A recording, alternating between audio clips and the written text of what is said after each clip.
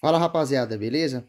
Hoje eu vou mostrar um problema que está acontecendo no cartucho da 36 ou até mesmo pode ser um problema na câmera da espingarda. No que eu vou estar tá explicando aqui hoje é uma coisa fácil e simples. Você pode estar tá fazendo na sua casa com poucos equipamentos. Galera, alguns cartuchos estão vindo com a rebarba, na onde interfere aí na, na introdução do cartucho, o que ocasiona aí o problema da injeção do cartucho. Para mostrar para vocês, esses novos cartuchos, eles é um lançamento recente. É, alguns chamam eles de Magno.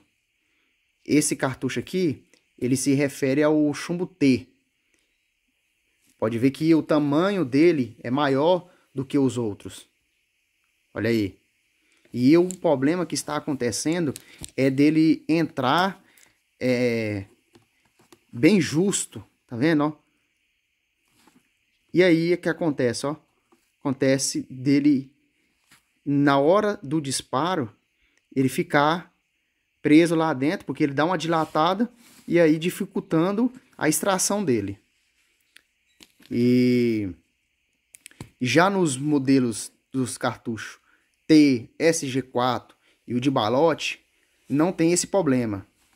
Olha para vocês verem, eles entram é, bem folgado. Mas Antes de começar esse vídeo, quero pedir para vocês, comenta, deixa o comentário de vocês. Se alguém tem esse modelo de espingarda, se está acontecendo esse mesmo problema que o meu, ou se esse problema meu é isolado, beleza? Se até mesmo vocês têm algum conhecido, algum amigo que tem esse modelo nesse calibre, ou até mesmo em outros calibres, nesses novos modelos da CBC que está acontecendo esse problema. Deixa no comentário aí para a gente ter uma, ter uma certeza se está acontecendo com vários outros modelos. Galera, o que, que acontece? É, deu para perceber o que? Que esses novos, esses novos cartuchos, esses aqui, ó, essa série, quando foi feita, na época, não, não, não tinha sido fabricado esses cartuchos. Não tinha sido fabricado eles. Só tinha esses menor. Que dá para entender que a câmera, a câmera da, da, dela era era menor, né? A câmera era menor. Com esses novos cartuchos, o que, aconte, que aconteceu?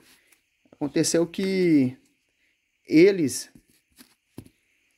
é, eles é maior, ocasiona que quando tem o disparo, ele dilata lá dentro e aí dá esse problema na da injeção. Esse cartucho, ele tinha uma rebarba. Uma rebarba. Eu peguei uma lixa e dei uma lixadinha aqui. Não é o ideal. Por isso que ele está entrando mais folgado aqui, ó.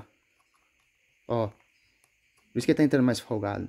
Mas esse problema, ele ele tava entrando muito bem apertado, muito apertado, sendo de uma uma dificuldade enorme para extrair esse cartucho.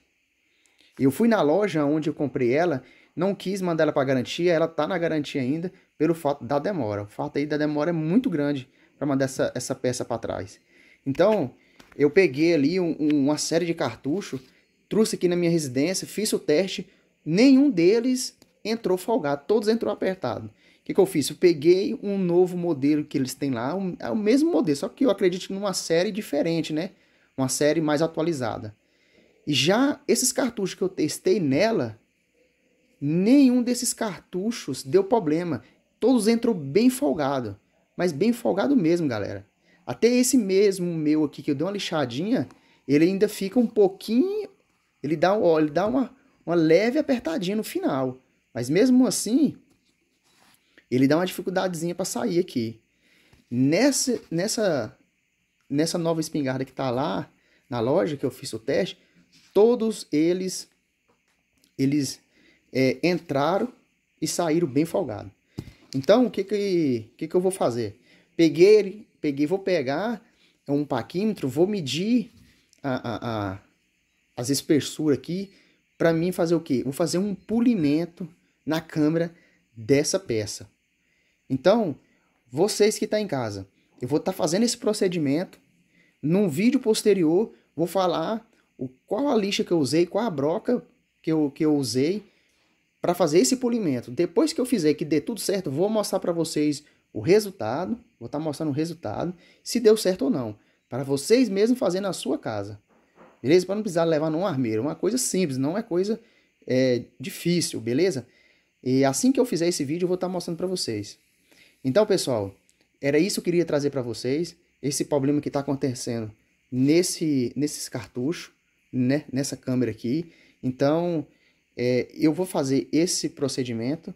Assim que eu fizer, vou estar tá atualizando vocês Não aqui. se esqueça de deixar o comentário se esse problema está acontecendo na de vocês ou de algum colega, algum conhecido.